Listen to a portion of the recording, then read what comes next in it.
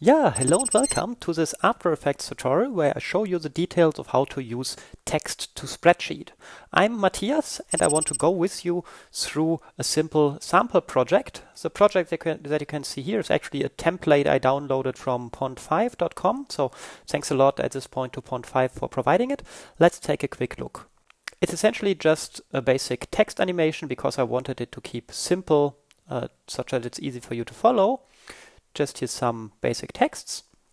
And now let's say we want to modify these texts and we do not want to modify them directly inside of After Effects, but let's say we want to send these texts in a convenient spreadsheet format to our client such that he can review and modify the text however he likes without the need to touch After Effects. So we start text to spreadsheet. Once it's installed, you find it here in the window menu. It's below the recording region, but be believe me, here you have a text to spreadsheet. And it's looking like this. You have a basic export and a basic import tab. And in the export, I just say for entire project make spreadsheet. Now, depending on uh, what uh, spreadsheet application you want to use, you can either export a CSV format or an XML format. And I recommend to use XML for Excel or OpenOffice because this also supports some nice color coding. If you want to use it with Apple numbers or any other spreadsheet aware application, you can also use the CSV comma separated value format. So for now, I just say here client review dot XML and click on Save. Now it says result added four texts to spreadsheet. Now let's open this text, uh, this spreadsheet in OpenOffice. Okay, here I'm now in the spreadsheet application of OpenOffice. And again, you can do the same with any uh, spreadsheet application. If you don't have any installed, I recommend to download completely free OpenOffice uh, from this URL here. So, and now we say File Open and choose the XML file that we exported. And here it is now loaded.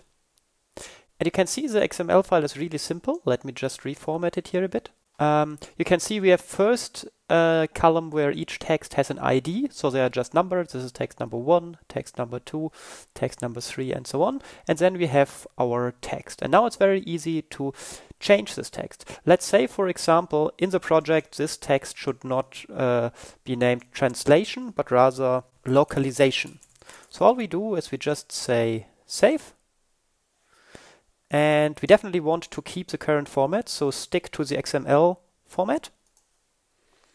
And now we can go to After Effects. And in After Effects, we go to the Import tab and say for the entire spreadsheet, uh, entire project, load a spreadsheet, choose again our client review.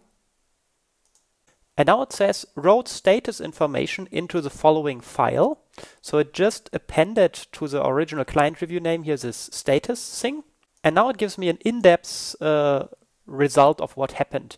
So first it says no errors, which is good, no warnings, which is also good, and then it says, okay, I didn't replace the text in this particular layer because the texts were identical. I also didn't uh, replace the text with ID number 3, the one with ID number 4, but I replaced the text with ID number 2. And this is pretty useful to check uh, so you always know exactly what is going on if you are interested in the detail what has exactly changed and what has not. Um, if we now check our project here, you can see this first text now says localization instead of translation and all the remaining texts of the project stayed exactly identical. So a real convenient way to update your texts. Now, if you have lots of texts, it's really good if you apply these changes to know what exactly is going on. And this is this status file that you, by the way, get by enabling this checkbox here that was written after your import. So let's go back to OpenOffice, which we have here. This is our original file, and now let's open the status file that was generated by uh, the import. If we open this, you can see it's exactly the same uh, thing. Let me just click here on the lines to or make them actually a bit larger. You can see here this color coding. And this color coding is such that green texts were up actually updated. So you can immediately see just from the color coding that only this text here, uh, only this text localization was actually changed. And it also says replaced in layer 1 of composition text 1. So this is pretty nice. So if you get like a table back with hundred of texts, you can immediately see uh, from your client and you apply the changes, you can immediately see, ah, only this particular text changed, so I have to take a look at composition text 1, whether everything still looks nice, and for all the yellow ones you don't need to care. There can also be something, some red lines if something really bad has happened. Like for example, you have texts here in your spreadsheet that you don't have um, in your project anymore or something like this. Yeah? But in general, this is just like a copy of your original spreadsheet that with this text information and the color coding gives you uh, in an intuitive way to check what exactly changed in your project after you applied the changes. Now, if you need to do something like translating your projects into many different languages, it is not so handy to have one XML file or one spreadsheet for each individual language, but it's much better to keep all the versions in one spreadsheet. And you can do this easily by adding additional columns. So let's rename here our first column, which is currently named original text, to English. And then we add another one, German.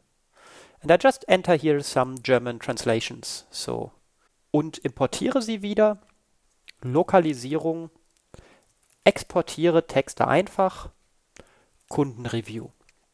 So now I save my file, file, save, and let's import this again in After Effects. So in our project, we again go to the Import tab of Text to Spreadsheet and say Load entire project from Spreadsheet. Again, I choose the client review file.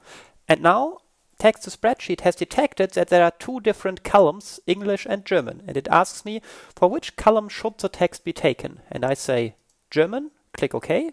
Again, the status file is written.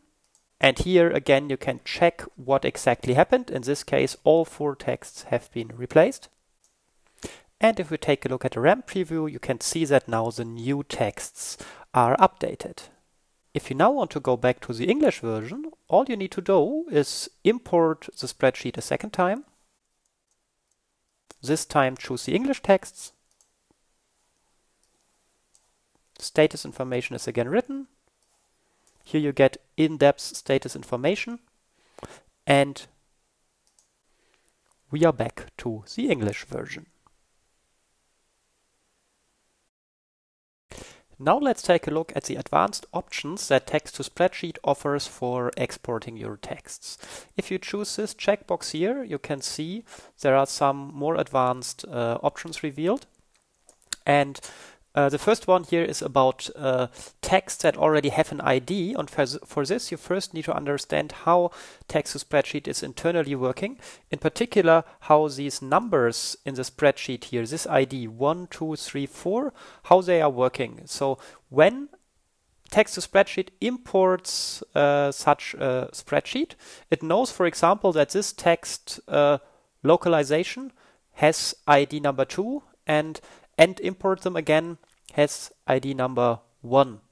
Uh, so, but why does it know to which text in your After Effects project they belong? Well, this works as follows. Um, if we take a look at the at the composition here with this text layer that actually has this uh, localization text here, uh, and we take a look at its layer comment by going here, right click on this uh, area columns and choose here comment. Now you can see the comments are visible and here's one comment annotated that says hashtag XML text IDs 2. And this means this text corresponds in my spreadsheet to the text with ID number 2. If your text would have several keyframes, so the text would change over time, you would have more IDs here. Like if you have three keyframes, you would have three IDs here and also then three rows in the spreadsheet. Okay, this is a pretty handy thing, having these IDs, because it means that the tool is not relying at all at your uh, project structure. In other words, it doesn't remember, oh, the text localization is placed in the text one composition inside this or that folder and it's layer number one or something like this, but it just has annotated at your layer uh, this ID, which means if you start changing your project, like, let's say we take this layer and move it to a different composition.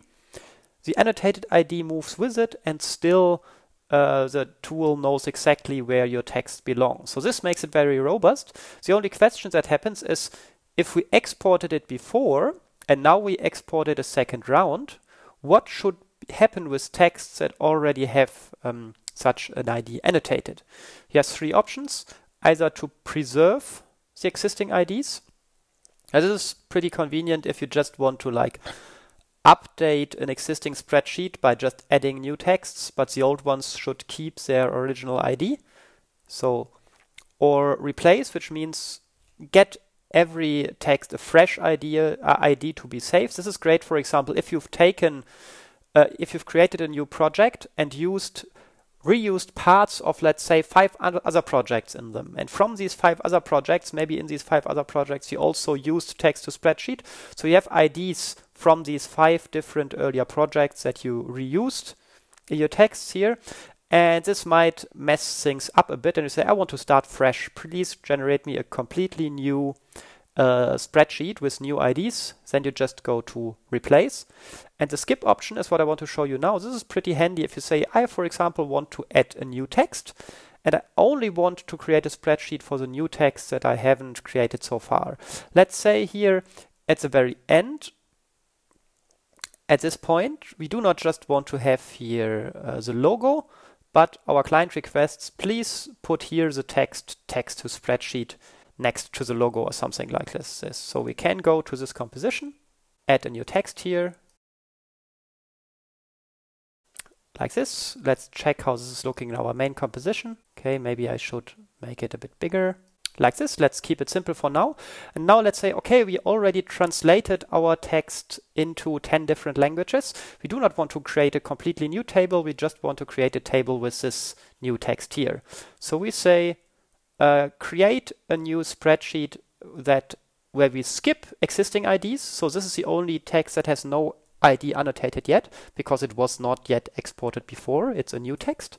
Yeah, so we say make spreadsheet and call this one new texts only. And now you can see as a result, just one text was added to the spreadsheet.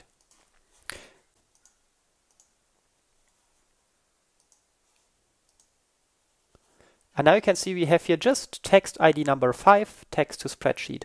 And the great thing is we can just copy this now from here. Copy. Go to our existing project where we already have English and German variants and just paste it. Edit, paste. And now if needed, we can start translating this one too. In this case, text to spreadsheet will be the same in English and German, so I just copy it to here. And so easy, we can even update our spreadsheet with new texts. So now let's take a look at the other options. The spreadsheet column label that you specify here is just when you export your text to the spreadsheet, what in the spreadsheet is written here, original text. You're free to rename this later, but if you have want to have here something else like English, for example, you can also enter it already here. Avoid duplicates means if you have several texts that are exactly identical. So let's say we have another text layer here that also says text to spreadsheet, like this. Uh, now, uh, if you have this not checked, you will get two separate entries in your spreadsheet.